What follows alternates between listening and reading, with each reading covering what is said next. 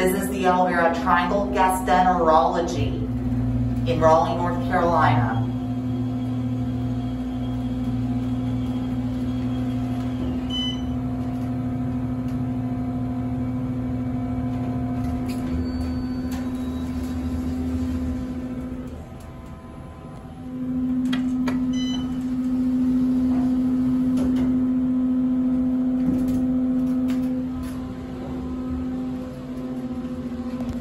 Installed in 2006.